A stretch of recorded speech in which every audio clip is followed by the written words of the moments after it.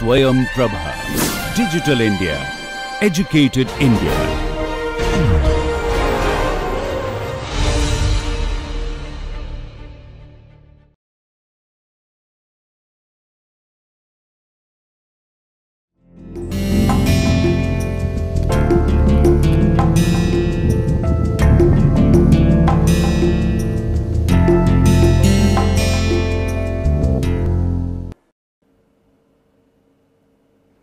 सभी लोगों को नमस्कार। जो विषय हम लोग डिस्कस कर रहे हैं दो तीन दिनों से, उस विषय का नाम है सिविल प्रक्रिया संहिता तथा परिसीमा विधि। तो इस विषय की चर्चा हम लोग दो तीन दिन से कर रहे हैं। आज इसमें जो है सातवां लेक्चर है, जिसमें हम लोग आज चर्चा करने जा रहे हैं।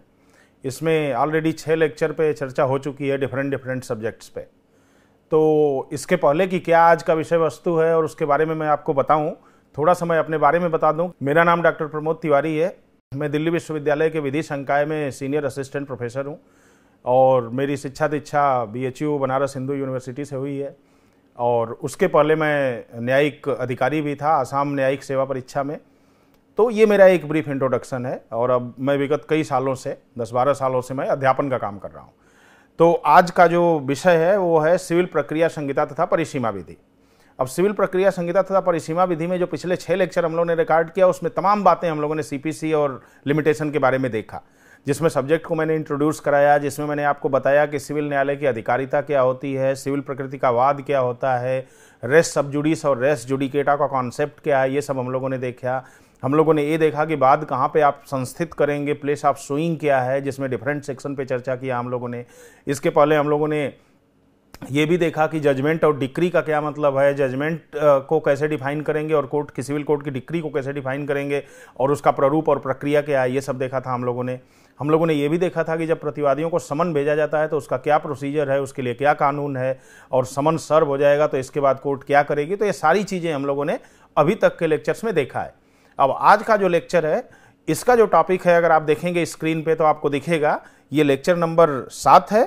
और लेक्चर नंबर सात में जो है, इसका टाइटिल है ब्याज और खर्चे। ध्यान दीजिए, इसका टाइटिल है ब्याज और खर्चे, और इसके लिए जो लीगल प्रावधान है हमारे पास सीपीसी के अंदर, वो है धारा चौंतीस, धारा पैंतीस धारा पैंतीस अ, धारा पैंतीस ब और आदेश बीस अ।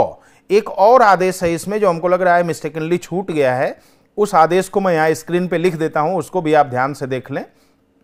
इसमें एक चीज़ है आदेश 25 आदेश 25 ये भी इसके साथ आप जोड़ लीजिएगा। ये एक एडिशनल आदेश है इसमें। तो ये इतने प्रावधान है इस ब्याज और खर्चे को समझने के लिए। धारा चौंतीस, पैंतीस पैंतीस ए, पैंतीस बी, आदेश 20 ए और आदेश 25 तो इस पूरे टॉपिक को हम लोग दो भाग में बांटेंगे। जैसे आप लेक्चर को देख रहे हैं टॉपिक को तो आप इसको आइडेंटिफाई कर सकते हैं। एक है ब्याज और दूसरा है खर्चा। तो ब्याज एक बात है और खर्चे दूसरी बात है। तो अब इस पूरे जो लीगल प्रावधान है अगर दो भाग में इसको बांटेंगे तो ऐसे आप बांट सकते हैं मैं स्क्रीन पे बांट रहा हूँ। ब्याज।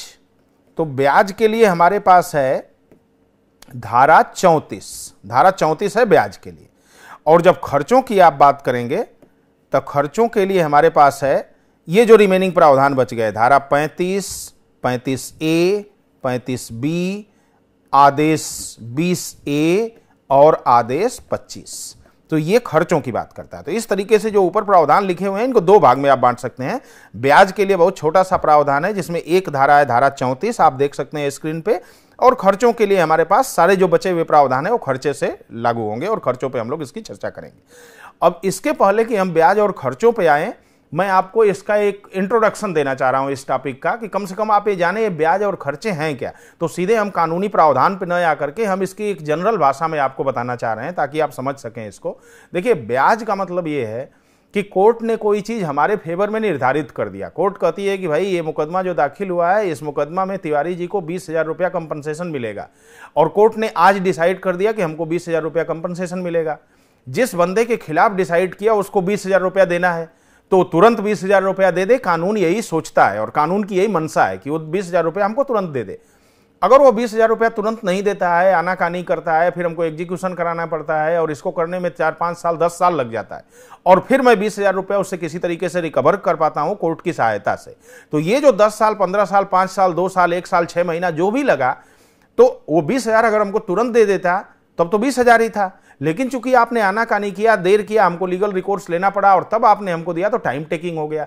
तो इतने टाइम में उसका ब्याज हमको चाहिए। केवल बीस हज़ार ये अब नहीं चाहिए। अगर पाँच साल बीत गया, अगर उसको बैंक में रखते तो बीस का चालीस हो जाता। तो क्यों ना हमको वो ब्याज दिलवाया जाए? तो कहने का मतलब है कि ब्याज ये बात करता है कि कोर्ट का जो अमाउंट है निर्धारित है या व्यक्तियों के बीच में कोई मामला है, ट्रांजैक्शन है, जिसको लेकर के दो पक्षकारों में डिस्प्यूट है तो पैसा का जितना ही डिले होगा, उसको कोर्ट खर्चा जोड़ के दिलवाएगी और ब्याज जोड़ के दिलवाएगी। तो इस ब्याज के बारे में जितना भी डिटेल है, धारा चौंतीस में लिखा हुआ है, इसको अभी हम डिटेल आप लोगों को बताएँगे। दूसरा खर्चा है, ध्यान दीजिए। खर्चा क्या है? खर्चा ये बात कहता है कि जैसे मान लीजिए हम मुकदमा दाखिल करते हैं तो मुकदमा जब दाखिल हम करेंगे तो मुकदमा के लड़ने में खर्चा होता है पैसे का। अब मान लीजिए हमारी प्रॉपर्टी है और किसी ने अनावश्यक रूप से उस पर कब्जा जमा लिया जबकि वो प्रॉपर्टी हमारी है लेकिन कोई दबंग आदमी है कोई माफिया है कोई मनी पावर उसके पास ज़्यादा है उसके पास मसल पावर ज़्यादा है या उसके पास माफिया पावर ज़्यादा है और उसने हमारी प्रॉपर्टी को कब्जा कर लिया। जब वो कब्जा कर लिया तो हम कोर्ट में जाते हैं अपनी प्रॉपर्टी के लड़, लड़ते हैं। लड़ने में आप जान रहे हैं भारत जैसे देश में पेंडेंसी है देर भी होती है और डिसाइड करने में देर हो गया काफ़ी। जब देर होगा दो साल, चार साल, पाँच साल लगेगा ये डिसाइड होने में। अब जब इतना साल लग गया तो पाँच साल, दस साल जो भी टाइम लगा, इसमें तो हमारी प्रॉपर्टी उनके कब्जे में है। तो जब आपके कब्जे में है तो पाँच, छह साल, दस साल जितना भी आपके कब्जे में है, उस प्रॉपर्टी का सारा बेनिफिट आपने लिया हुआ है। उसकी बेनिफिट तो हमने लिया नहीं। तो उसकी बेनिफिट इसके बाद मुकदमा लड़ने में मैं कोर्ट में फ़ीस जमा करूँगा, मैं वकील को फ़ीस दूँगा, सारी बातें मैं बार बार तारीख पे आऊँगा, जाऊँगा, इसमें हमारा खर्चा लगेगा। तो बाद में प्रॉपर्टी तो हमको मिल जाएगी, क्योंकि उस प्रॉपर्टी का मैं ओनर हूँ, मैं एविडेंस कोर्ट में सबमिट किया हूँ तो on the basis of evidences etcetera वो प्रॉपर्टी तो हमारे फेवर में डिसाइड हो जाएगी। लेकिन क्वेश्चन ये है कि केवल प्रॉपर्टी अगर हमको दस साल के बाद हमारी ही संपत्ति मिले तो ये न्याय नहीं हुआ हमारे लिए तो हमारे लिए अन्याय हो गया। क्योंकि हमारी इस संपत्ति के लिए दस साल में मुकदमा भी लड़ा, अपना जूता भी घिसा, और दस साल के बाद केवल हमारी ये प्रॉपर्टी हमको मिली। तो ये तो हमको पहले से ही मिलनी चाहिए थी। इसीलिए खर्चे की बात है कि इस आदमी को ब्याज भी दिलवाना है, और इस आदमी को मुकदमा, प्रॉपर्टी के साथ साथ मुकदमे का खर्चा भी दिलवाना है। तो इसको हम बोलते हैं ब्याज और खर्चे। तो इसी से संबंधित ये दोनों प्रावधान है। धारा चौंतीस ब्याज की बात करता है, धारा पैंतीस, आर्डर 20 ए और आर्डर 25 ये दोनों तीनों मिलाकर के खर्चे की बात करते हैं। तो अभी हम लोग इसको लीगल रूप में देखेंगे कि ब्याज और खर्चे क्या हैं। तो ये मैंने आपको ब्रीफ इंट्रोडक्शन दिया, मैं समझ पा रहा हूँ कि आप इसको समझे होंगे कि ब्याज और खर्चा क्या है जो सीपीसी में वर्णित है इन सारे प्रावधानों में। अब हम आगे बढ़ते हैं। थोड़ा सा नेक्स्ट स्लाइड पे आप चलें, देखें। नेक्स्ट स्लाइड में ब्याज की बात है। देखिए, ब्याज, धारा चौंतीस। तो यहाँ पे मैंने बाइफर्केट किया है। ब्याज है धारा चौंतीस में। अब ध्यान दीजिए। ब्याज क्या है? अब मैं आपको इसको बता रहा हूँ, जो सीपीसी में लिखा हुआ है, उसको साधारण भाषा में बता रहा हूँ। धारा चौंतीस में लिखा हुआ है कि ब्याज का मतलब from the date of institution of suit and up to the date of passing of decree ध्यान दीजिए, मैं आज सूट इंस्टीट्यूट किया और डिक्री पास हुई दस साल के बाद, मैंने आपको दस हज़ार रुपया दिया है दिया हुआ है, और आप हमारा दस हज़ार रुपया नहीं दे रहे हैं। मैं दस हज़ार रुपए के लिए आज मुकदमा दाखिल करता हूँ आपके खिलाफ। और डिक्री पास होने में दस साल लगता है। तो दस साल में डिक्री पास हो गई तो from the date of suit और जिस दिन जजमेंट होता है। इसके बीच में जितना समय बचा तो दस साल का समय लगा। तो दस साल पहले ही अगर आप हमको दे देते तो दस हज़ार मिल गया होता। लेकिन आपने नहीं दिया, मैं मुकदमा दाखिल किया, दस हज़ार दस हज़ार का जो निर्धारण है, ये दस साल के बाद हुआ। तो दस साल के बाद इसमें जितना भी ब्याज जोड़ के दस हज़ार मिलेगा हमको, इसमें सूद जोड़ के हमको मिलेगा, ब्याज जोड़ के मिलेगा। तो इसको हम बोलते हैं ब्याज। तो from the date of institution of suit passing of decree ये एक टाइम स्लॉट है। सेक्शन चौंतीस में एक और टाइम स्लॉट लिखा हुआ है। From the date of decree up to the date of payment ये भी एक बात है, ध्यान दीजिए। अब मान लीजिए दस हज़ार हमने सूट फ़ाइल किया और जिस दिन डिक्री हुई, उसी दिन आपने हमको दे दिया। तब तो ठीक है, कोई बात नहीं है। डेट ऑफ़ इंस्टीट्यूशन से डेट ऑफ़ डिक्री तक का ब्याज भी आप दे देंगे। लेकिन मान लीजिए डेट ऑफ़ डिक्री हुई तो आपने हमको नहीं दिया दस हज़ार। अब उस दस हज़ार को लेने के लिए एक एग्जीक्यूशन प्रोसीजर है, अभी हम लोग थोड़ी देर बाद में देखेंगे नेक्स्ट लेक्चर में। तो उस दस हज़ार के लिए मुझे एग्जीक्यूशन डालना पड़ा। मैं सिविल कोर्ट को फिर कहता हूँ कि जज साहब, आपने तो दस हज़ार डिसाइड कर दिया, लेकिन ये दस हज़ार तो हमको दे ही नहीं रहे हैं। तो इस दस हज़ार को हमको दिलवाया जाए। अब कोर्ट क्या करती है? एग्जीक्यूशन करती है। एग्जीक्यूशन करने के बाद कोर्ट वो हमको दिलवाती है। अब डेट ऑफ़ डिक्री से डेट ऑफ़ एग्जीक्यूशन में भी मान लीजिए पाँच साल लग गया। तो अब आप ब्याज कहाँ तक का देंगे? डेट ऑफ़ इंस्टीट्यूशन से डिक्री तक का और डिक्री से पेमेंट तक का, क्योंकि पेमेंट करने में भी आपने पाँच साल लगा दिया। तो ये दो स्लॉट हो गया ये दूसरा स्लॉट है धारा चौंतीस में। एक और स्लॉट है धारा चौंतीस में। ये कहता है before the institution of suit ध्यान दीजिए, अभी तो हम लोग सूट से आगे बढ़े हैं। सूट से लेकर डिक्री तक, डिक्री से लेकर पेमेंट तक। तीसरा स्लॉट कहता है सूट के पहले, ध्यान दीजिए। अब जैसे मान लीजिए, हमारी प्रॉपर्टी थी, उन्होंने कब्जा कर लिया। उन्होंने कब्जा कर लिया आज। और मैं सूट फ़ाइल करता हूँ चार साल के, तीन साल के, पाँच साल के बाद। इसलिए मैं सूट देर से फ़ाइल करता हूँ, ताकि मैं उसमें पंचायत वगैरह बुलाता हूँ, मैं दस लोगों को इकट्ठा करता हूँ, मैं सोचता हूँ कि कोर्ट में न जाना पड़े, ऐसे ही हमारी प्रॉपर्टी हमको दे दें। ये सब करने में हमारा टाइम निकल गया और वो हमको नहीं दे रहे मैं डर भी रहा हूँ मुकदमा दाखिल करने के लिए, क्योंकि वो माफिया है, हमको उसे डर लग रहा है, मुकदमा करूँगा, बाहर जाऊँगा, हमको मार देगा। तो ये सब सोचने में हमको तीन चार साल लग गया। और लगने के बाद, चार साल के बाद मैं सूट फ़ाइल किया। तो हालाँकि कब्जा तो आपने चार साल पहले का कर लिया था और मैं मुकदमा दाखिल करता हूँ चार साल के बाद। तो कोई बात नहीं है। बिफोर इंस्टीट्यूशन ऑफ़ सूट जो टाइम स्लॉट था, और जब आपने पोजेशन लिया था इलीगल पोजेशन तो from the date of illegal possession up to the institution of suit ये पहला स्लॉट हो गया। From the date of institution of suit up to the passing of decree दूसरा स्लॉट हो गया। And from the decree up to payment ये तीसरा slot हो गया। तो ये धारा चौंतीस में यही बात लिखी हुई है कि ये तीन स्लॉट हैं। अब ये कोर्ट देखेगी taking into consideration the fact and situation of each and every cases कि in which matter what time slot is applicable तो ये कोर्ट ऑफ़ लॉ देखेगी कि ये मामला पहले से चल रहा था, बाद में सूट फ़ाइल हुआ तो पहला वाला स्लॉट भी चलेगा। या अगर पहला नहीं चल रहा था सूट जिस दिन शुरू हुआ उसी दिन से झगड़ा है और जिस दिन डिक्री होती है उस दिन पे कर देता है तो बस बीच वाला स्लॉट चलेगा। लेकिन डिक्री हो गई, नहीं पे करता है तो लास्ट वाला स्लॉट भी चलेगा। तो ये डिपेंड करेगा कैसा मामला, उसमें क्या फैक्ट और सिचुएशन और अकॉर्डिंगली कोर्ट इस स्लॉट को निर्धारित करेगी और हमको ब्याज दिलवाएगी। तो इसको हम बोलते हैं धारा चौंतीस ब्याज। अब एक चीज़ और इसमें ध्यान रखिए। ये तो टाइम स्लॉट की बात हो गई कि हमारी प्रॉपर्टी भी हमको मिलेगी और हमको सूद भी मिलेगा, ब्याज भी जोड़ करके मिलेगा। अब क्वेश्चन ये है कि ब्याज का रेट क्या होगा? किस रेट से मिलेगा? एक परसेंट दो परसेंट चार परसेंट छह परसेंट दस परसेंट किस रेट से मिलेगा? तो उसमें लिखा हुआ है सीपीसी में, कहता है कि not exceeding six percent per annum ध्यान दीजिए। छ प्रतिशत वार्षिक ब्याज के से ज़्यादा नहीं मिलेगा। छ प्रतिशत वार्षिक ब्याज से ज़्यादा नहीं मिलेगा। क्योंकि ये जो है, ये रेट है जो सीपीसी फिक्स करती है छ प्रतिशत वार्षिक रेट से आपको ब्याज मिलेगा। लेकिन उसमें एक बात और लिखा हुआ है, अगर मान लीजिए जो झगड़ा है, ये झगड़ा कमर्शियल ट्रांजेक्शन को लेकर के है बिज़नेस व्यापार वाला ट्रांजेक्शन है कमर्शियल वाला, और कमर्शियल ट्रांजेक्शन का झगड़ा है तो इसमें पार्टी ने ब्याज निर्धारित किया हुआ है एग्रीमेंट करते समय कि अगर कोई भी ब्रीच करेगा या इस तरीके की बात होगी, कोई अमाउंट कोर्ट के द्वारा निर्धारित किया जाएगा तो वो अमाउंट भी देगा और ब्याज जो देगा, वो फला इंटरेस्ट से देगा, फला रेट ऑफ़ इंटरेस्ट से देगा। तो मान लीजिए वो रेट ऑफ़ इंटरेस्ट दस परसेंट निर्धारित किए हुए हैं अपने एग्रीमेंट में, तब ये छह परसेंट नहीं चलेगा। तब जो इन लोगों ने निर्धारित किया हुआ है, वो वाला रेट ऑफ़ इंटरेस्ट चलेगा, माने दस परसेंट चलेगा। लेकिन ये केवल कमर्शियल ट्रांजेक्शन में होगा। साधारण ट्रांजेक्शन में छह परसेंट की कैपिंग है। छह परसेंट पर एनम से ज़्यादा नहीं कोर्ट दिलवाएगी।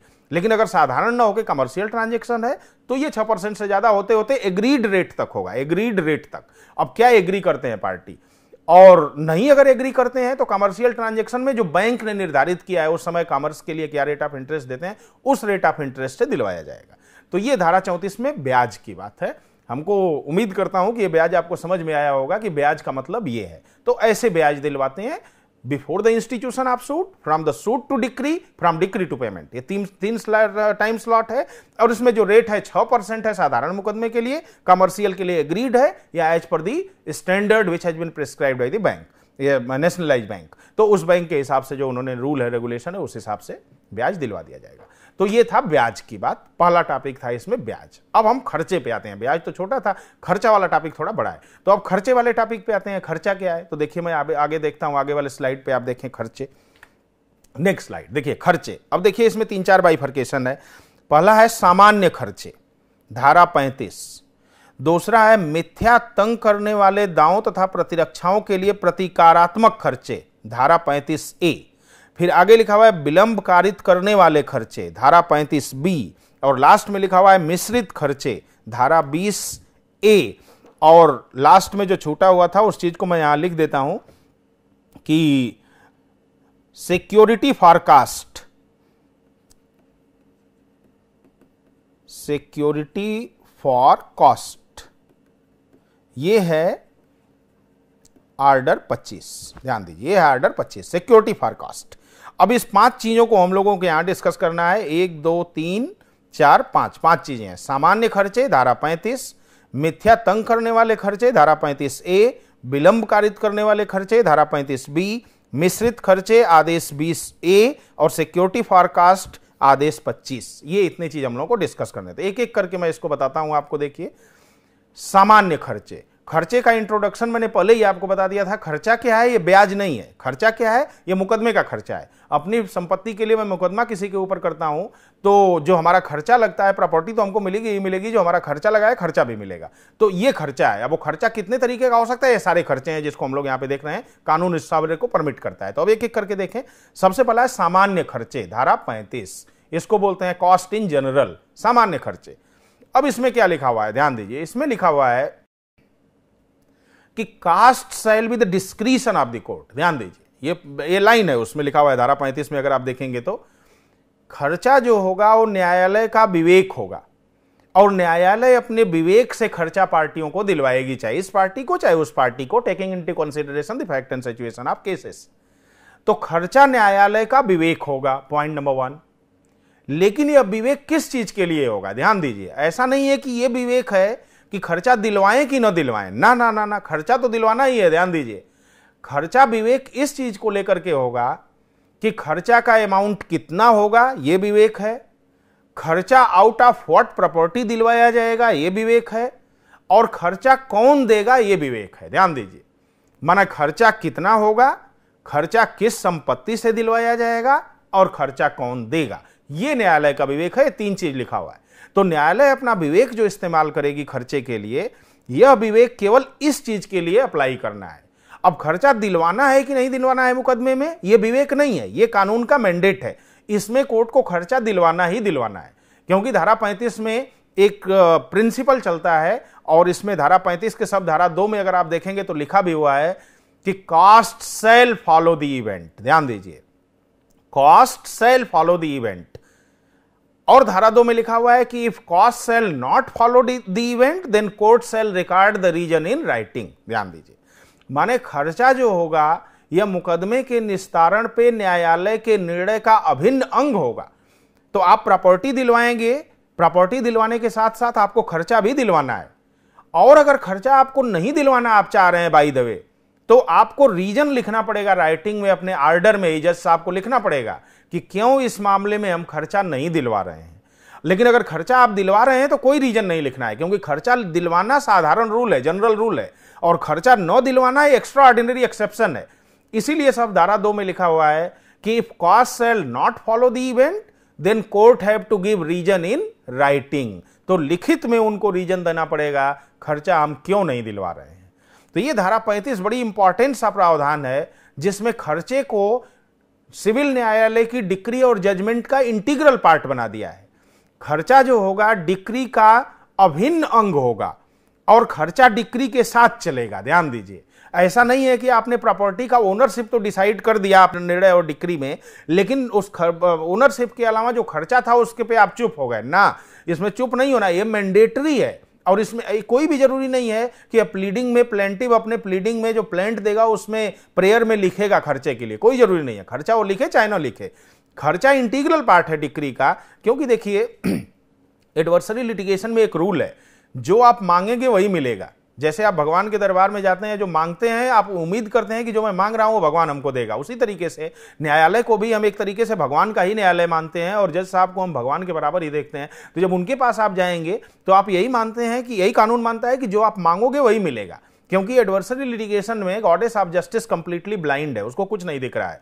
उसको जो आप कहोगे, वही दिखेगा। दोनों पार्टी जो कहेंगे, आपके कंटेंशन और एविडेंसेस के आधार पर डिसाइड करेगी। वो इम्पार्शियल इंस्टीट्यूशन है, उसको कुछ नहीं दिख रहा है। तो आपको हर चीज़ मांगना है। और प्रेयर में आप लिखते हैं prayer number one two three four five हर प्रेयर को आप लिखते हैं, उस हर प्रेयर को कोर्ट देखती है जो जो प्रेयर आप लायक होगा, दिलवाने लायक उसको दिलवाएगी, और जो आपको नहीं दिलवाने लायक है, उसको रिजेक्ट भी कर देगी। लेकिन आपको मांगना पड़ेगा। मान लीजिए आप मांगते ही नहीं है तो आपको नहीं मिलेगा। ये प्लीडिंग का जनरल रूल है सीपीसी में। लेकिन खर्चा मांगने की ज़रूरत नहीं है, ध्यान दीजिए।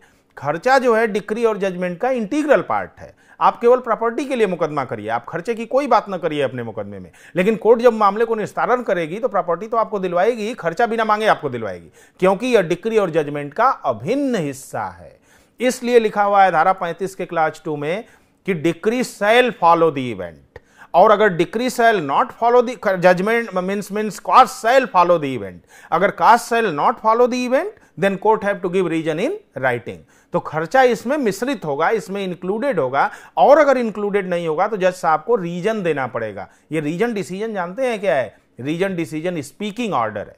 माने आप ऐसे नहीं है कि किसी के फेवर में जो आपको मन किया वो निर्णय कर देंगे क्योंकि आप कोर्ट की बड़ी कुर्सी पे, जज साहब की बड़ी कुर्सी पे बैठे हुए हैं। ना, आपकी कुर्सी भी कानून के प्रावधानों से बाध्य है। आपकी कलम भी कानून के प्रावधानों से बाध्य है। और अगर आप निर्णय ए के फेवर में करते हैं और बी के विरुद्ध करते हैं, या बी के फेवर में करते हैं, ए के विरुद्ध करते हैं दोनों पार्टी आपके पास गए हुए हैं तो आपको ये बताना पड़ेगा कि क्यों ए के फेवर में, या क्यों बी के फेवर में, या क्यों ए के विरुद्ध, या क्यों बी के विरुद्ध, ये आपको बताना पड़ेगा। क्योंकि आपका जो आदेश होगा वह स्पीकिंग ऑर्डर इसको बोलते हैं रीजन डिसीज़न इसमें बोलते हैं।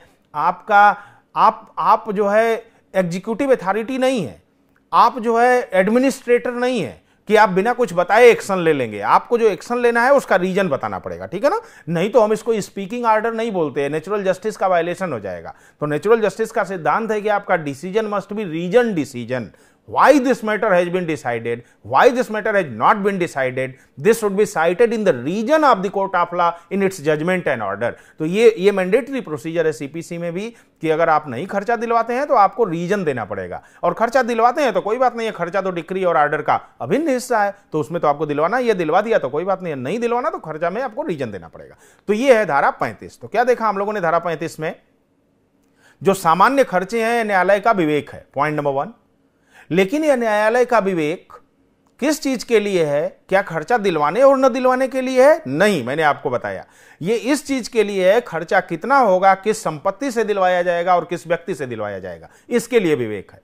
लेकिन खर्चा दिलवाया तो जाएगा ही जाएगा। अब उसका अमाउंट कितना होगा, ये कोर्ट विवेक में बताएगी। एक रुपया भी हो सकता है, एक करोड़ भी हो सकता है। ये फैक्ट और सिचुएशन पर डिपेंड करेगा। और अगर खर्चा नहीं दिलवाएँगे तो रीजन देंगे। तो ये था धारा पैंतीस, सामान्य खर्चे। अब दूसरे खर्चे पे आइए। धारा 35 ए जो आप स्लाइड में देखेंगे, दूसरा पॉइंट है, धारा 35 ए और इसकी हेडिंग क्या है? मिथ्या तंग करने वाले दावों और प्रतिरक्षाओं के लिए प्रतीकारात्मक खर्चे। इसकी हेडिंग बड़ी क्लियर है। मिथ्या तंग करने वाला दावा, अगर आप हेडिंग को देखें, मिथ्या तंग करने वाला दावा, पॉइंट नंबर वन। मिथ्या तंग करने वाला दावा, पॉइंट नंबर वन। मिथ्या तंग करने वाली प्रतिरक्षा पॉइंट नंबर टू, और इसके लिए कैसा खर्चा? प्रतिरात प्रतिकारात्मक खर्चा। कंपेंसेटरी कास्ट इसको बोलते हैं। Compensatory cost. प्रतिकारात्मक। Compensatory compensatory cost प्रतिकारात्मक खर्चे। तो ये कैसा दावा है? मिथ्या तंग करने वाला। इसको कहते हैं false and vexatious claim false claim है आपका। वैक्सीसियस क्लेम है आपका। फ्रॉडुलेंट क्लेम है आपका। आप प्लेंटिव हैं तो आप क्लेम करेंगे। इसलिए दावा किसके लिए है? पॉइंट नंबर वन प्लेंटिव के लिए। प्रतिरक्षा किसके लिए है? डिफेंडेंट के लिए। अगर आप अपोजिट पार्टी हैं, आप अपनी रक्षा लेते हैं और रक्षा में आप क्या करते हैं? मिथ्या रक्षा लेते हैं या झूठ रक्षा, झूठ डिफेंस लेते हैं कोर्ट ऑफ़ लॉ में। तो इस सब के लिए प्रतिरक्षा की बात आ जाएगी। तो ये जो हेडिंग है, बड़ी क्लियर है कि ये दोनों पार्टियों पे लागू होगा, चाहे वो प्लेंटिव है, चाहे डिफेंडेंट है। अगर प्लेंटिव अपना फॉल्स और वैक्सीसियस क्लेम करता है तो उसके पे लागू हो जाएगी। और अगर प्लेंटिव तो सही सारा क्लेम करता है, लेकिन डिफेंडेंट जब डिफेंस में आता है तो उसका डिफेंस जो है फॉल्स और वैक्सीसियस है। तो फिर उसके पे लागू हो जाएगी। तो इसके लिए कंपेंसेटरी कास्ट दिया जाएगा। जो मिथ्या अपने फॉल्स क्लेम और डिफेंस देगा, उसको इसका कंपनसेशन देना पड़ेगा। क्योंकि आपने कोर्ट को परेशान किया, आपने अपोजिट पार्टी को परेशान किया, आपने कोर्ट में झूठ स्टेटमेंट दिया, इसके लिए आपको पैसा देना पड़ेगा। किसको पैसा देंगे? कोर्ट को भी देंगे और अपोजिट पार्टी को भी देंगे। क्योंकि अपोजिट पार्टी आपके मिथ्या क्लेम से परेशान हुई है और कोर्ट का भी समय जाया हुआ है तो इसमें लिए आपको compensatory cost compensation in the form of money आपको देना पड़ेगा। तो यह है धारा पैंतीस ए। अब इसको ध्यान से देखिए, क्या लिखा हुआ है? फॉल्स और वैक्सीसियस क्लेम अगर प्लेंटिव करता है तो इसका कंटेंशन कौन लेगा कोर्ट ऑफ़ लॉ में? डिफेंडेंट लेगा, क्योंकि एडवर्सरी लिटिगेशन में एक दूसरी पार्टी एक दूसरे के कमी को कोर्ट में बताती है। चाहे जिस तरीके की कमी हो तो कोर्ट में बताती है, कोर्ट इस कमी को नोट करती है, और नोट करने के बाद कोर्ट इसको डिसाइड करती है। अगर वह कमी जेन्युइन जो क्लेम कर रहा है, वो जेन्युइन सही में कमी है तो कोर्ट अकॉर्डिंगली एक्शन लेती है। लेकिन कभी कभी होता है एडवर्सरी लिटिगेशन में बिना मतलब के भी हम उनके खिलाफ एलिगेशन लगाते रहते हैं, क्योंकि वो हमारा एडवर्सरी पार्टी है तो ये हमारा धर्म है वहाँ पे वो कानून भी परमिट करता है हमको कि हम उनके खिलाफ एलिगेशन लगाते रहें। लेकिन हमारे एलिगेशन लगा देने से नहीं हो जाएगा कोर्ट को उसको डिसाइड करना पड़ेगा। और कोर्ट डिसाइड करती है तो अकॉर्डिंगली डिसाइड करेगी। तो अब मान लीजिए मैं प्लेंटिव हूँ। मैं क्लेम तो सारा जेनविन करता हूँ, लेकिन डिफेंडेंट जाके कहता है, जज साहब, इनके पाँच क्लेम में से दो क्लेम जो है वो फॉल्स और वैक्सीसियस है। ऐसा कह देता है। या सही में मेरा दो क्लेम फॉल्स और वैक्सीसियस है और तब वो एक कंटेंशन लेता है। सिमिलरली मान लीजिए डिफेंडेंट है, हमारी तो क्लेम सारी सही है, लेकिन डिफेंडेंट जो अपना डिफेंस लेता है, उसके डिफेंस फॉल्स और वैक्सीसियस है।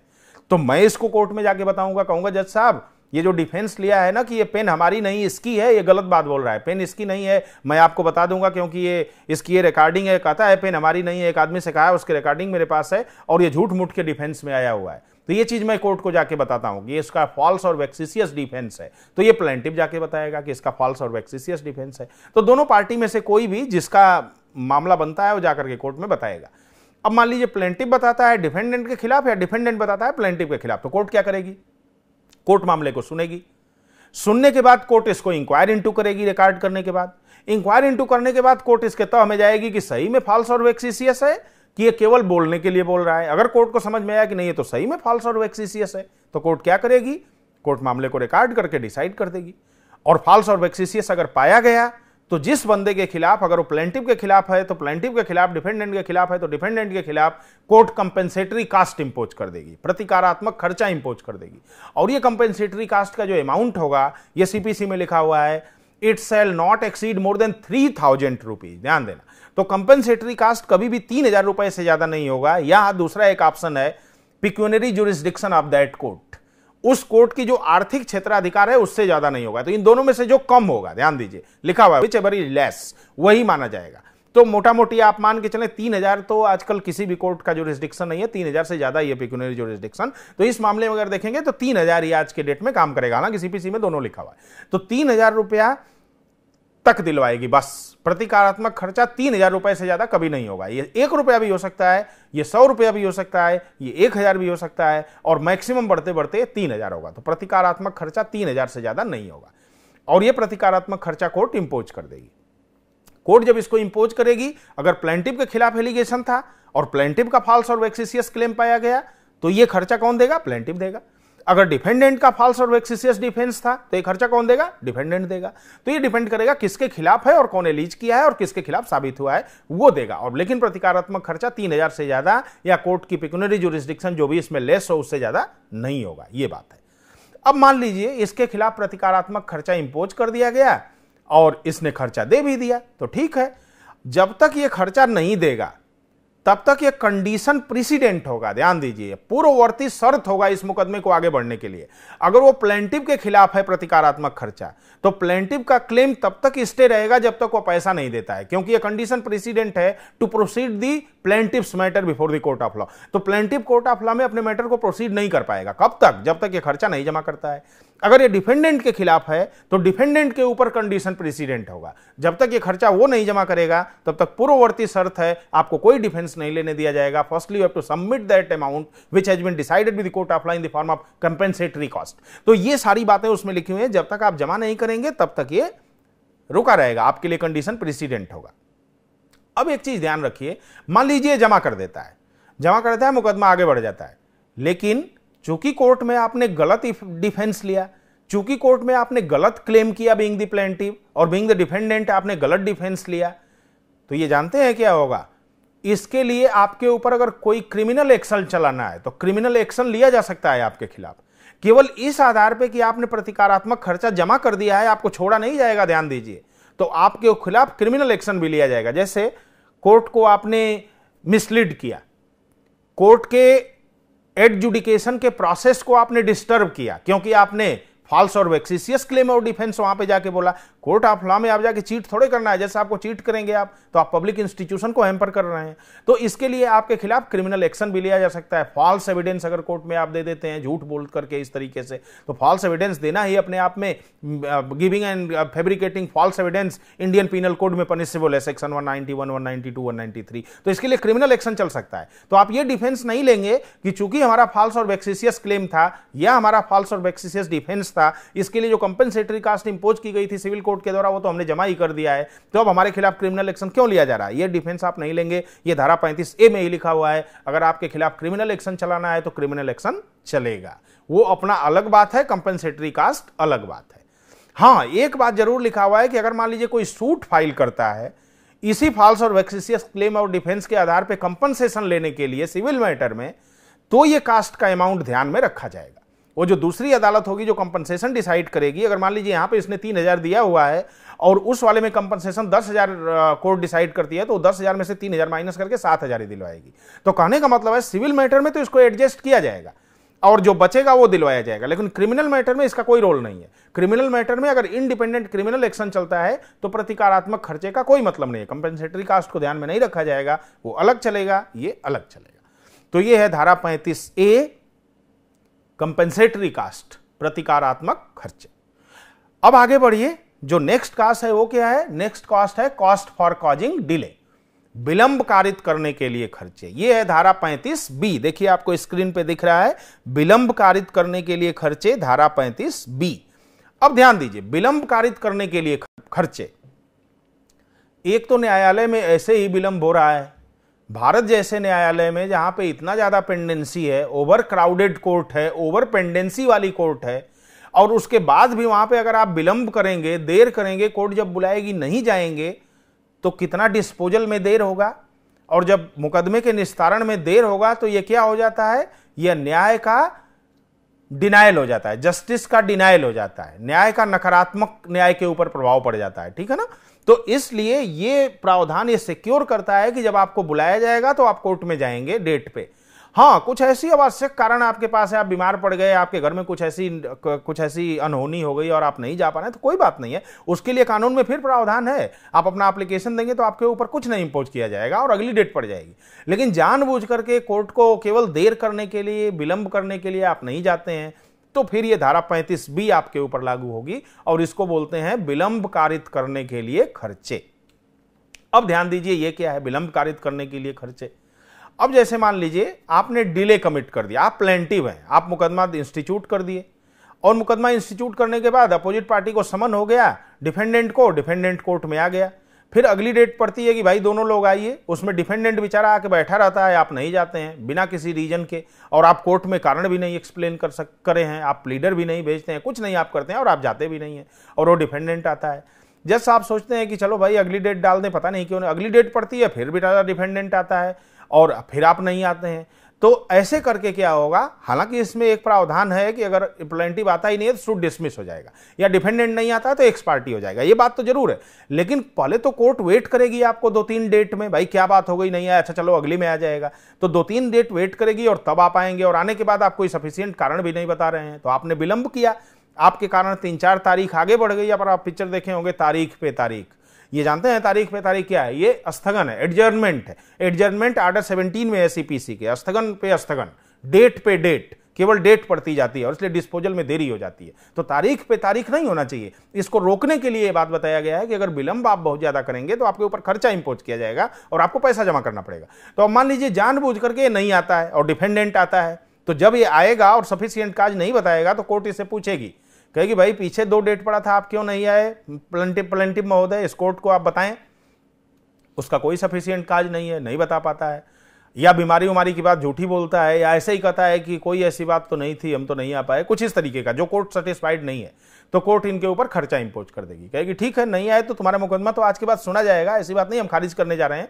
लेकिन ठीक है, दो तारीख पे तुम नहीं आए और दो तारीख पे अपोजिट पार्टी आया हुआ है तो अपोजिट पार्टी का घर कोर्ट हाउस से 200 किलोमीटर दूर है। तो 200 किलोमीटर आने और जाने का खर्चा, इसके टाइम का खर्चा, ये सब तुम जमा करो कोर्ट में। और जब दो दिन का इसका पूरा खर्चा तुम जमा कर दोगे, मान लीजिए कोर्ट ने निर्धारित कर दिया कि दो दिन में कम से कम इसका तीन हज़ार रुपया खर्च हो, आप तीन हज़ार जमा करें तो आपको तीन हज़ार जमा करना पड़ेगा। और जब तीन हज़ार आप जमा कर देंगे तभी आपका मुकदमा आगे बढ़ेगा। और नहीं जमा करेंगे तो कोर्ट खारिज भी कर सकती है, क्योंकि बिंग द प्लेंटिव आप नहीं आए हैं your suit is liable to be dismissed तो इसको हम बोलते हैं विलंब कारित करने के लिए खर्चे। अब ध्यान दीजिए, मान लीजिए विलंब कारित करने के लिए जो एक खर्चा है निर्धारित कर दिया कोर्ट ने, इसका अमाउंट भी निर्धारित कर दिया तो आपको इसको जमा करना है। मान लीजिए आप नहीं जमा करते हैं, तब क्या होगा? तो मुकदमा तो आगे बढ़ गया, मान लीजिए, कोर्ट ने निर्धारित कर दिया और कोर्ट कह दिया कि इसको दे देना और मुकदमा आगे बढ़ गया। लेकिन आपने जमा नहीं किया। तो ये जो ऑर्डर है कॉस्ट फॉर कॉजिंग डिले का जो कोर्ट का ऑर्डर है, इसको आप एग्जीक्यूट करा सकते हैं। जिसके फेवर में हुआ है, उसको एग्जीक्यूट करा सकता है इंडिपेंडेंट ऑर्डर को। अभी suit is yet to be decided let suit be decided that is different matter लेकिन the matter which has been decided for compense for cost for causing delay इस मैटर में जो amount decide हुआ है हमारे favour में, उसको मैं कोर्ट ऑफ़ लॉ में एग्जीक्यूट करा सकता हूँ सिविल कोर्ट में। मैं मैं उसी आर्डर को कोर्ट में लेके जाऊँगा, कहूँगा, जज साहब, आपने तो कास्ट फॉर काजिंग डिले का अमाउंट निर्धारित किया था दस हज़ार रुपया, और ये आदमी तो हमको दे ही नहीं रहा है। तो ये मुकदमा चलता रहेगा, और ये जो अमाउंट निर्धारित हुआ है, इस अमाउंट को देना पड़ेगा उसको।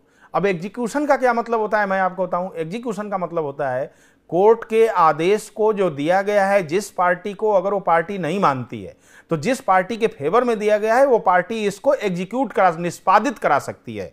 आदेश का निष्पादन बोलते हैं इसको। तो निष्पादित करा सकती है। इसके लिए हमारे पास सीपीसी में आदेश इक्कीस है order twenty one of CPC सबसे बड़ा आर्डर है, इसमें 106 रूल है। तो इसमें बताया गया है कि किसी भी सिविल कोर्ट के डिक्री और आर्डर का एग्जीक्यूशन कैसे होगा। तो ये जो कास्ट फॉर काजिंग डिले है, इसका एग्जीक्यूशन हो जाएगा as per the procedure prescribed under order 21 of the code of civil procedure और इस आर्डर के अमाउंट को एग्जीक्यूट करवा देगा। जाएगा। कोर्ट इसको पकड़ेगी, बुलाएगी इसको, बुला करके कहेगी, पुलिस को बुलाएगी, कहेगी इसको जेल में डाल दो, यार पैसा नहीं दे रहा है। तो आपको प्रेजेंट में भी डाला जा सकता है, जब तक आप पैसा नहीं जमा करेंगे। या आपकी प्रॉपर्टी अटैच कर ली जाएगी और प्रॉपर्टी को बेच करके इसको पैसा दिलवा दिया जाएगा, क्योंकि तो आपने विलंब भी किया, आपके ऊपर खर्चा भी निर्धारित हुआ, आप खर्चा दे ही नहीं रहे हो तो आपकी प्रॉपर्टी बेच करके इसको दिलवा दिया जाएगा। ये सारा तरीका है। तो एग्जीक्यूशन कैसे होगा? इस तरीके से एग्जीक्यूशन हो सकता है इस आर्डर का। तो ये जो आर्डर हुआ है इंडिपेंडेंट आर्डर है, इसका अमाउंट का और सूट में जो निर्णय होगा इस वाले सूट में जो निर्णय होगा बाद में, और जो ये अमाउंट निर्धारित किया जाएगा, ये दोनों इंडिपेंडेंट अमाउंट है।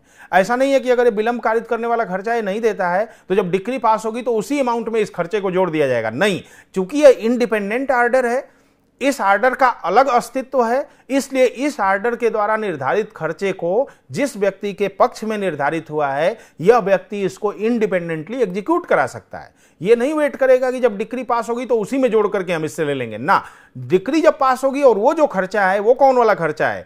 धारा पैंतीस, सामान्य खर्चा, जो हम लोगों ने देखा था थोड़ी देर पहले, वो डिक्री के समय वो वाला खर्चा है। ये तो इंडिपेंडेंट खर्चा है कास्ट फॉर कॉजिंग डिले। तो आपने डिले कारित किया है, जिस दिन डिले कारित किया उसके अगले दिन आपको देना पड़ेगा। और अगर नहीं दिए हो तो एग्जीक्यूट करा दिया जाएगा। कोर्ट कभी भी पेंडेंसी के दौरान आपको एक खर्चा दिलवा देगी और आपको ले लेना, नहीं देगा तो उसकी प्रॉपर्टी बेच करके आपको दिलवा दी जाएगी। तो ऐसे आप इसको कर सकते हैं। तो इसको डिक्री तक वेट नहीं करना है। यह इंडिपेंडेंटली एग्जीक्यूटेबल है as per the procedure prescribed under order 21 of the code of civil procedure तो यह था तीसरा खर्चा, विलंब कारित करने के लिए खर्चा। तो ये तीन चीज़ हम लोगों ने सेक्शंस में देखा, धाराओं में देखा। धारा 35 सामान्य खर्चा। धारा 35 ए, प्रतिकारात्मक खर्चा, मिथ्या और तंग करने वाले मामले के लिए। और तीसरा पॉइंट है विलंब कारित करने के लिए खर्चा, धारा 35 बी। अब हम लोग आदेशों पे चलते हैं। दो आदेश हैं हमारे पास, जिसमें एक में बताया गया है मिश्रित खर्चा, आदेश 20 ए, अगर आप स्लाइड में देखेंगे तो। और दूसरा दिखा हुआ है कि खर्चे के लिए सिक्योरिटी ये है आदेश 25 तो इन दोनों को हम लोग देखेंगे अभी आगे। तो सबसे पहले आप आइए मिश्रित खर्चे। आदेश 20 ए, मिश्रित खर्चे।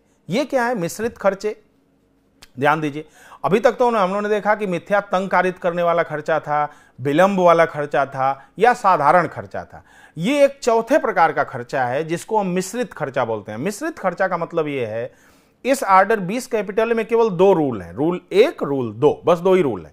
तो पहला नियम इसका क्या बोलता है? First rule of this order talks about कि आपको क्या करना है? आप फला फला खर्चे के लिए भी इंटाइटल्ड हैं। जब मुकदमा आपके फेवर में डिसाइड होता है तो इसके साथ साथ ये ये खर्चे हैं जिसके लिए आप इंटाइटल्ड हैं। कौन कौन खर्चा है? खर्चा नंबर वन नोटिस देने वाला खर्चा।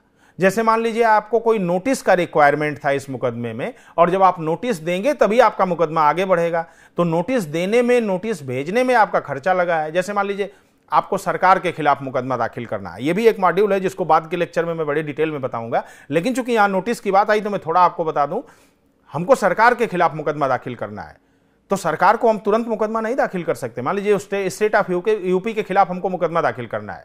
तो स्टेट ऑफ़ यूपी के खिलाफ जब मुकदमा दाखिल करना पड़ेगा तो पहले हमको स्टेट ऑफ़ यूपी को नोटिस देना पड़ेगा। हालाँकि अगर आपको हमारे खिलाफ मुकदमा दाखिल करना है तो नोटिस की ज़रूरत नहीं है साधारण मुकदमों में। लेकिन चूँकि सरकार के खिलाफ आप मुकदमा दाखिल करने जा रहे हैं, राज्य के खिलाफ करने जा रहे हैं तो आपको नोटिस देना पड़ेगा। इसको बोलते हैं डॉक्ट्रिन ऑफ़ नोटिस। ये धारा अस्सी में लिखा हुआ है। तो नोटिस आपको दो महीना पहले नोटिस देना पड़ेगा सरकार को, और दो महीने बाद ही आप मुकदमा इंस्टीट्यूट करेंगे नोटिस के दिन से। तो ये नोटिस देने में खर्चा लगेगा।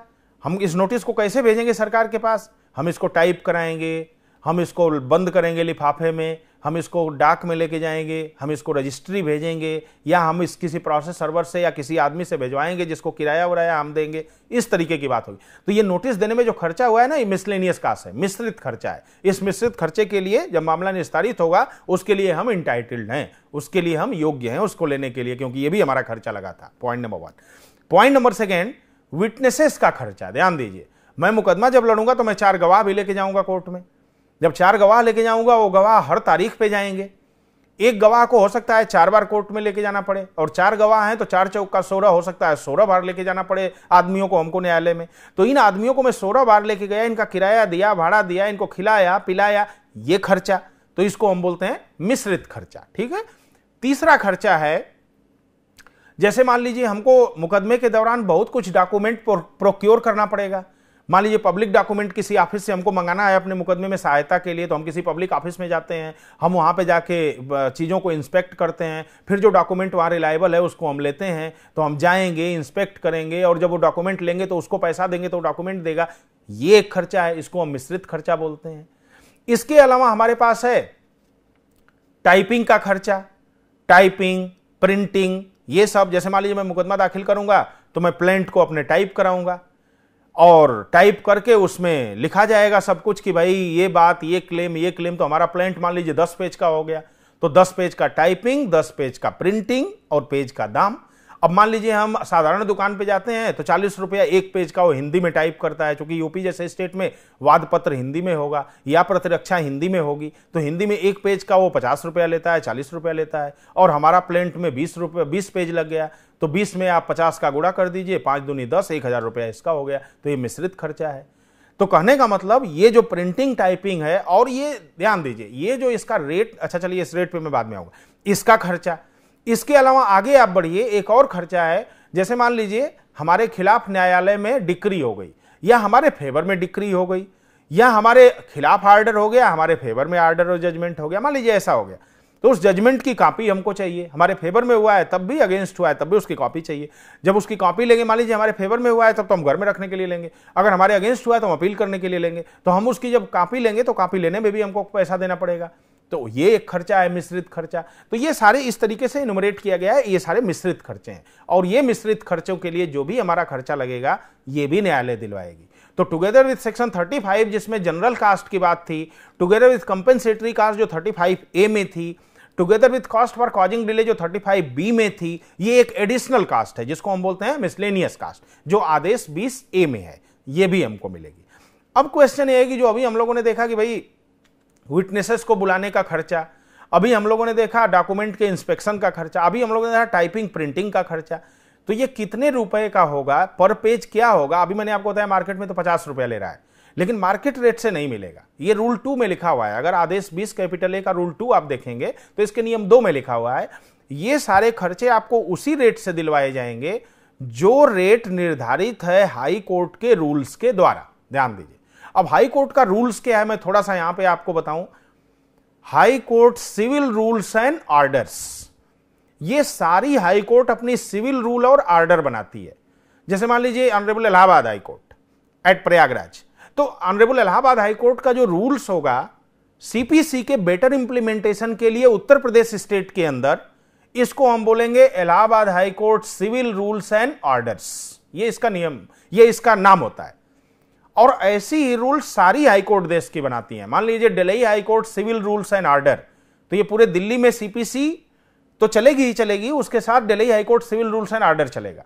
Similarly Allahabad high court civil rules and order पूरे यूपी में सीपीसी तो चलेगी ही चलेगी, उसके साथ साथ हाईकोर्ट का सिविल रूल और ऑर्डर भी चलेगा।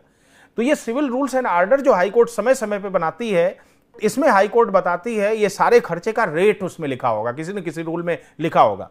कि अगर ऐसा खर्चा है, मान लीजिए प्रिंटिंग है तो अगर हाईकोर्ट कहती है, पर पेज दस रुपया मान लीजिए, और आप मार्केट में दे रहे हैं पचास रुपया तो आपको पचास नहीं मिलेगा। जो हाई कोर्ट लिखी है, वही मिलेगा। मान लीजिए हाई कोर्ट ने लिखा है सौ रुपया मार्केट में आप दे रहे हैं बीस रुपया तो फिर भी आपको सौ रुपए के रेट से मिलेगा। तो क्वेश्चन ये है कि अमाउंट जो निर्धारित किया जाएगा मिसलेनियस कास्ट का, ये depend upon the rules which has been framed by the respective high court for the better implementation of code of civil procedure in that state तो इस हिसाब से उसको लिया जाता है। तो ये था मिश्रित खर्चा आर्डर 20 कैपिटल ए तो क्या देखा हम लोगों ने? धारा 35 हम लोगों ने देखा साधारण खर्चा. धारा 35 ए हम लोगों ने देखा मिथ्या तंग करने वाले दावों और प्रतिरक्षाओं के लिए खर्चा. फिर हम लोगों ने देखा विलंब कारित करने के लिए खर्चा, धारा 35 बी फिर हम लोगों ने देखा मिश्रित खर्चा, धारा 20 ए अब लास्ट में स्लाइड पे आप देखिए जो मैं हाथ से लिखा हुआ हूँ खर्चे के लिए सिक्योरिटी सिक्योरिटी फॉर कॉस्ट यह है आदेश 25 खर्चे के लिए प्रतिभूति। इसको हिंदी में बोलते हैं खर्चे के लिए प्रतिभूति। ठीक है ना? यह है आदेश 25 आदेश 25 ठीक है ना? खर्चे के लिए प्रतिभूति। ये हिंदी में इसको बोलते हैं। तो खर्चे के लिए प्रतिभूति सिक्योरिटी फॉरकास्ट अब ध्यान दीजिए। खर्चे के लिए जो प्रतिभूति है, जो सिक्योरिटी है, ये क्या मतलब है? इसको मैं थोड़ा सा आपको बता दूँ। आदेश 25 किस चीज़ की बात करता है? आदेश 25 ये बात बोल रहा है, जैसे मान लीजिए मैं प्लेंटी बॉय में मुकदमा दाखिल करने जाता हूँ कोर्ट में। तो कोर्ट को दो बातें हैं।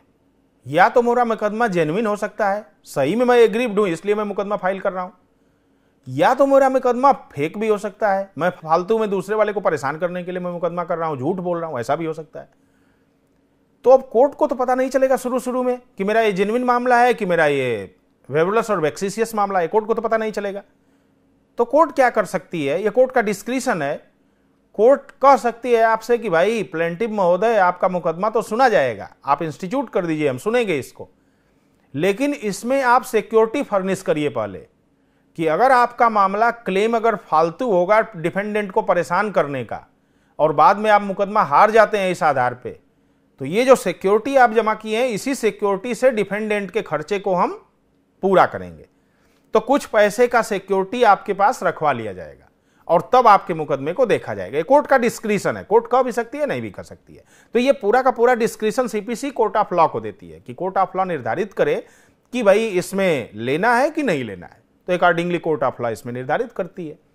तो कोर्ट कह भी सकती है, नहीं भी कर सकती है। लेकिन कुछ ऐसे सिचुएशन है जिसमें कोर्ट निश्चित रूप से प्रतिभूति आपसे एग्जीक्यूट कराती है, निश्चित रूप से। जैसे मान लीजिए, आप देश के बाहर रहते हैं और आपकी कोई भी अचल संपत्ति भारत के सीमा के अंदर नहीं है। और तब आपके खिलाफ मुकदमा हुआ है या आप मुकदमा करना चाह रहे हैं? दोनों बातें, चाहे तो वादी हैं, चाहे प्रतिवादी हैं, दोनों मामले में। तो कोर्ट उसमें आपसे सिक्योरिटी सेल लिखा हुआ है। Court shall ask to furnish security in such situation wherein parties are resident of another state and they don't have any immovable property within the territory of India. अगर ऐसी बात है, तब कोर्ट निश्चित रूप से आपको कंपेल करेगी कि आप खर्चे के लिए प्रतिभूति जमा करें। ठीक है ना? तो इसमें दो रूल है मोटा मोटी थोड़ा सा ये है तो इस ऑर्डर में रूल्स तो कई हैं, लेकिन आपको यहाँ समझने के लिए मैं फंडामेंटल चीज़ बता दूँ, जिसमें दो बातें हैं। प्रतिभूति कोर्ट का विवेक है। कोर्ट इसको ले भी सकती है न्यायालय, नहीं भी ले सकती है। लेकिन कहीं कहीं कोर्ट के विवेक को सीपीसी खत्म कर देती है, कहती है कोर्ट को लेना ही होगा। और कब लेना ही होगा? जब वो बंदा दूसरे राज्य में, दूसरे स्टेट दूसरे कंट्री का रहने वाला है या दूसरे कंट्री में रहता है या about to leave the country है, रहता तो नहीं है, लेकिन देश छोड़ने वाला है, ऐसा कोर्ट को महसूस हो रहा है, और इसकी उसकी कोई भी अचल संपत्ति देश की सीमा के अंदर नहीं है।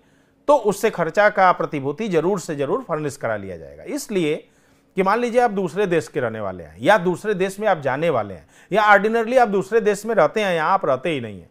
और आप मुकदमा करते हैं या आपके खिलाफ मुकदमा होता है? और बाद में पता चलता है कि ये तो मुकदमा पूरा का पूरा फालतू था। इसने तो 10 साल कोर्ट का बड़ा मूल्यवान समय नुकसान कर दिया। तो कोर्ट आपको लाइबल करेगी।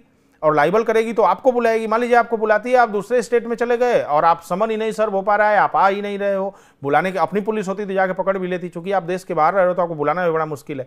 तो इस सिचुएशन में कोर्ट आपसे फर्निश पहले सिक्योरिटी करवा लेगी और आपकी कोई अचल संपत्ति देश के अंदर नहीं है। अगर अचल संपत्ति होती तो कोई बात नहीं है आप नहीं आते तो कोर्ट उसी प्रॉपर्टी को अटैच कर लेती अटैच करके सेल आउट कर देती और सेल आउट करने के बाद उससे खर्चा निकलवा लेती। लेकिन ऐसी भी बात नहीं है, आपकी अचल संपत्ति भी नहीं है। तो उस समय कोर्ट निश्चित रूप से आप कहेगी सिक्योरिटी फर्निश करो और नहीं तो आपके मुकदमे को हम खारिज कर देंगे। आप चले जाओ यहाँ से। तो इसको बोलते हैं सिक्योरिटी फॉर कास्ट जो आदेश 25 में लिखा हुआ है।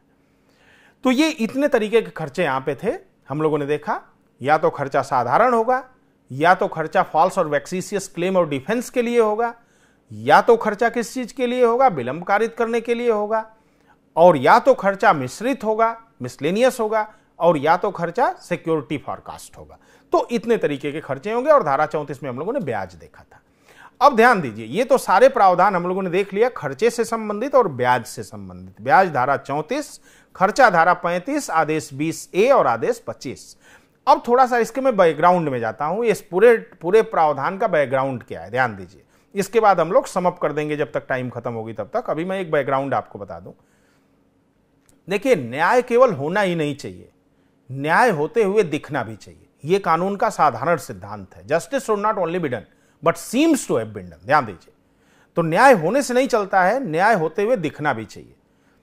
ये क्या बात कह रहा है? ये बड़ा रहस्य की बात है। जैसे जज साहब के खिलाफ ही कोई मामला है, और जज साहब खुद उसमें जज के रूप में बैठ गए, और मामले को डिसाइड कर दिया। तो न्याय तो हुआ, क्योंकि न्याय किसने किया? जज ने किया।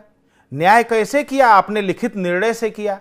न्याय कैसे किया? कानून के लिखित प्रावधानों के तहत किया। न्याय तो हुआ। अगर ब्लैक लेटर ऑफ़ लॉ की आप बात करेंगे तो न्याय तो हुआ। लेकिन क्या न्याय होते हुए दिखा? क्योंकि जज साहब के खिलाफ ही मुकदमा है और जज साहब खुद उसमें बैठ करके मामले को निस्तारित कर दिए। कुछ दिन पहले आप एक न्यूज़ सुने होंगे कि sitting chief justice of India जो थे former chief justice of India उनके खिलाफ कोई एलिगेशन था, कोई इंटर्न ने एलिगेशन लगा दिया था। और जब उसमें इंक्वायरी कमेटी सेटअप हुई तो उसमें खुद वो जज साहब भी बैठ गए एज मेंबर क्या उसके चेयरमैन ही बन गए।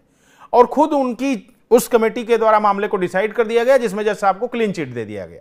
अभी कुछ दिन पहले की बात है, जो चीफ जस्टिस हुआ करते थे कभी। और ये मामला बड़ा देश में हाईलाइट हो गया, और इस पर बड़ा डिस्कशन हो गया कि भाई जिसके खिलाफ एलिगेशन है, वही बैठ जाए और वही मामले को निर्धारित कर दे। तो इसको क्या आप न्याय निर्णय मानेंगे? न्याय तो हो गई टेक्निकली स्पीकिंग क्योंकि it has been decided by the body of person लेकिन उस बॉडी ऑफ़ पर्सन में वो भी बंदा बैठा हुआ है जिसके खिलाफ एलिगेशन है, और वो बंदा बड़े प्रेस्टिजियस पोजीशन में है।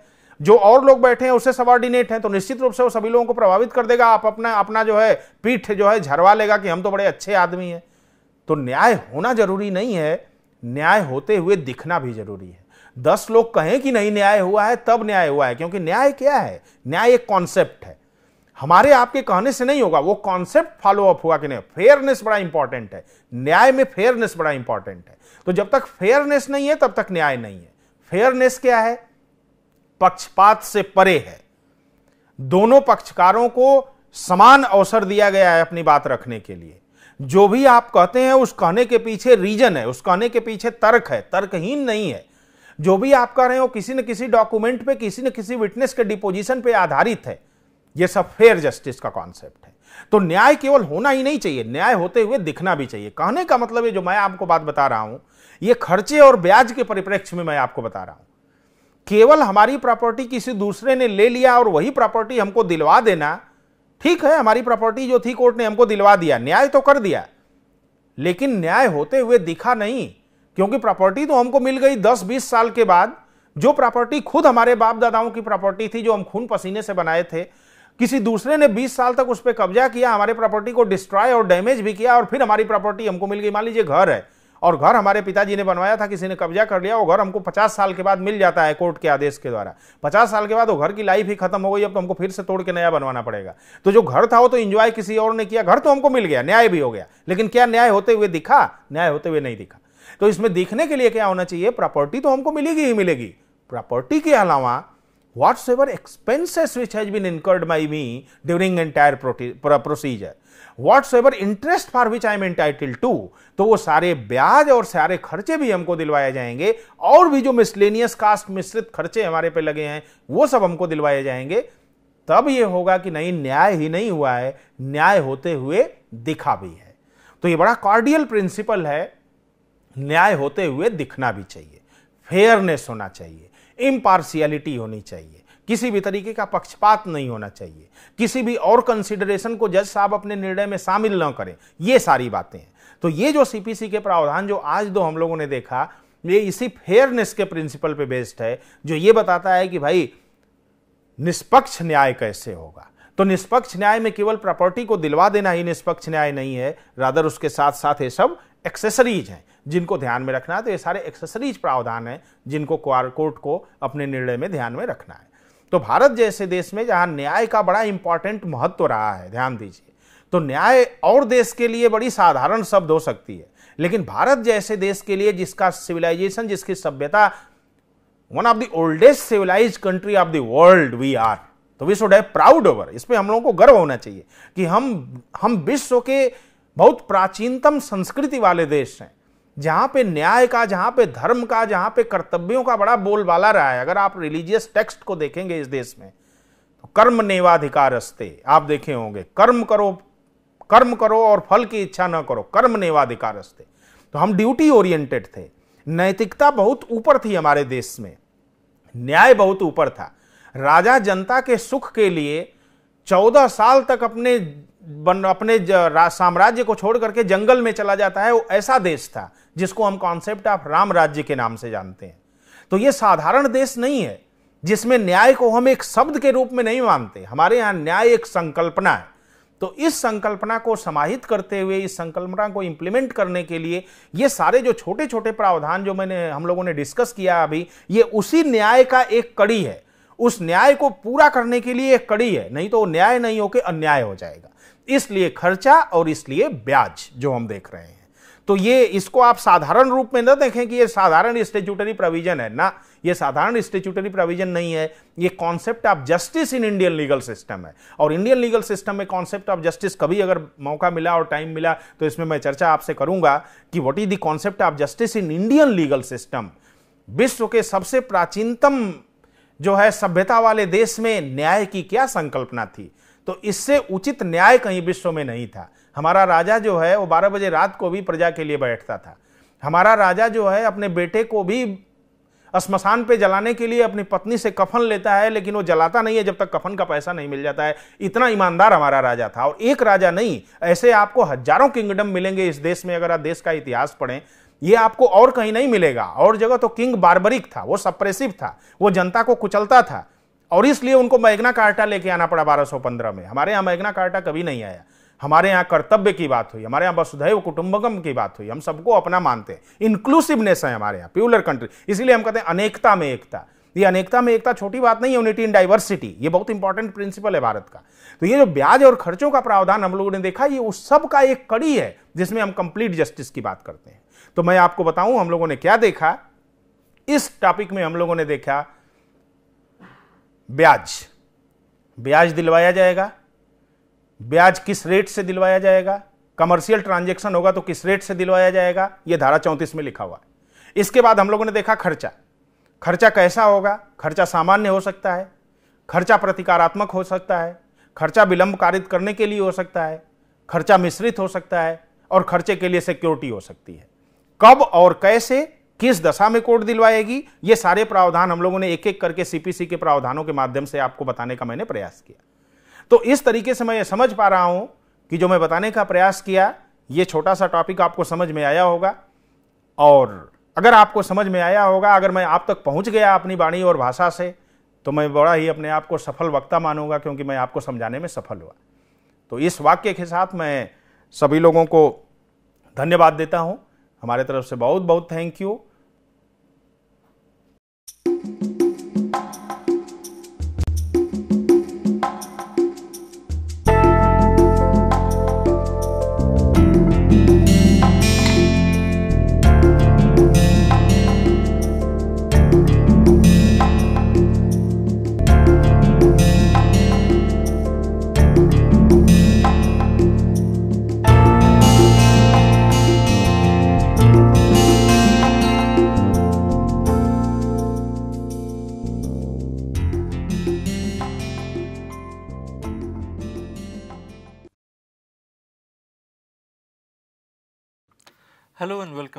piece of literary snippet.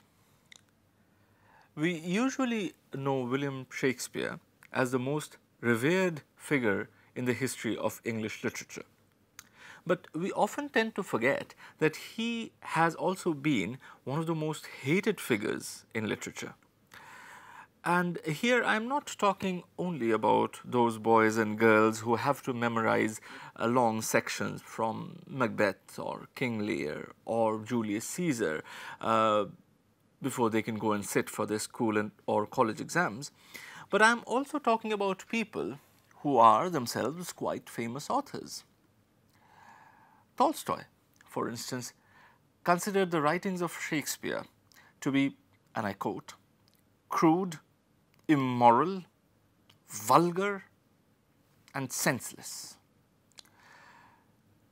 George Bernard Shaw absolutely loathed Shakespeare, as he did Homer. But perhaps no other criticism about Shakespeare is more damaging than the one which says that Shakespeare is a marvelous storyteller, provided someone has told him the story earlier.